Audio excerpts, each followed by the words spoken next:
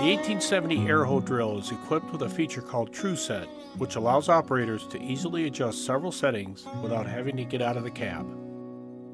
After watching this video, you will be able to perform a full frame calibration successfully, determine the depth and height presets on the display, describe how to flick the SCV to quickly adjust depth, and adjust fertilizer trip force and packing wheel pressure. TruSet is a John Deere exclusive for the 76 foot 1870. TruSet allows operators to make adjustments to trip force, packing pressure, and opener depth, all from the comfort of the cab. No longer do adjustments need to be made using a manual valve. Pressure control dials on the TruSet run page allow growers to make incremental adjustments without leaving the cab.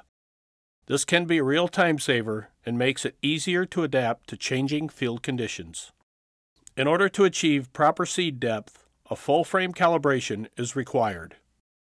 It's also wise to run a full frame calibration at the beginning of every season.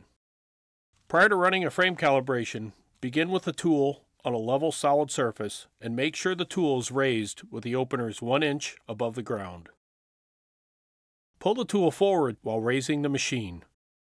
This process will ensure that no binding between the frame and the wheel module joints exists. Set press wheel down force to a minimal number.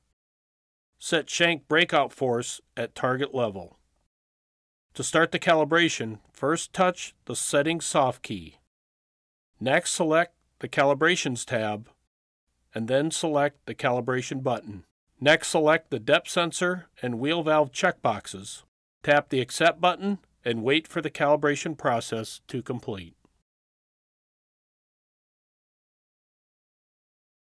To set proper depth and height for your operation, begin with leveling the opener height and establishing a ground line.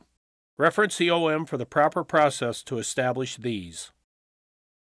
Once this is done, enter the field and unfold the tool. Next, raise the frame until the fertilizer shank is at the target height for the headland turns, then press the upper set point button. Now drive forward while lowering the tool. Make visual field checks to establish proper or target depth. When you have established this target depth, touch the lower set point button. A couple of things to note here. First, do not detent the SCV when establishing set points. Also, during frame calibration, a maximum raise and lower height is established and these values can't be adjusted. A good rule of thumb to follow while setting up the openers is first, make your depth adjustment, second, set your packing pressure, and third, set your trip force. Of course, setting your proper depth will also depend on the crop you are seeding and the soil condition you are working in. Setting the opener at 3.5 inches is a good starting point to begin with. Based on your commodity and soil condition, you may need to make adjustments from there. If needed, you can shallow up or deepen the shank just to make sure you are getting good seed to soil contact. For instance, if you shallow up the shank, you are also shallowing up the seed tube. You will need to adjust the seed tube in this case, or you may not even be getting the seed into the ground. Customers also have the ability to set a flick up or down setting on the tool. This allows operators to make small incremental adjustments to the depth or height just by flicking the SCV without detenting. In order to enter these values, select the Settings button. From here, enter the values in the flick input boxes. Also on this screen, operators have the ability to manually set upper and lower limit set points if they so choose.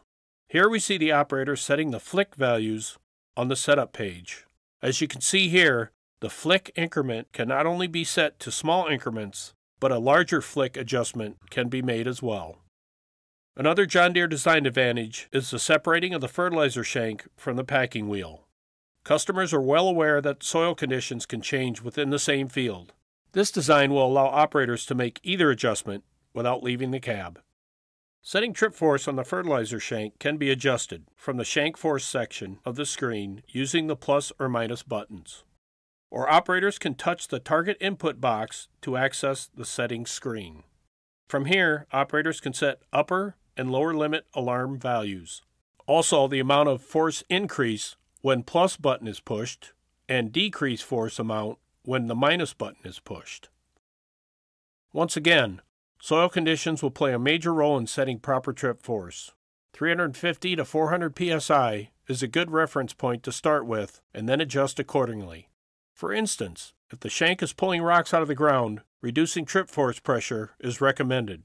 On the other side, if the shank repeatedly clanks as you go across the field, trip force pressure should be increased. Here the operator is setting the press wheel downforce. Access the press wheel downforce section of the screen. As you can see, the settings can be set just as you set trip force. Upper and lower alarm values can be set along with the pressure increase and decrease by using the plus or minus buttons. Setting the correct packing wheel pressure positively affects yields. If a customer is running in wet clay and packing wheel pressure is too high, it can cause actual smearing of the soil during closing. Smearing of the soil can affect yield by robbing the seed of available nutrients or push the seed out of the soil completely. The 1870 Air Hoe drill has several settings that can be easily adjusted from inside the cab to match a wide variety of soil conditions and crops. Taking the time to properly adjust these will help ensure that your crop gets off to the best start possible. Now you are able to perform a full frame calibration successfully, determine the depth and height presets on the display, describe how to flick the SCV to quickly adjust depth, and adjust fertilizer trip force and packing wheel pressure.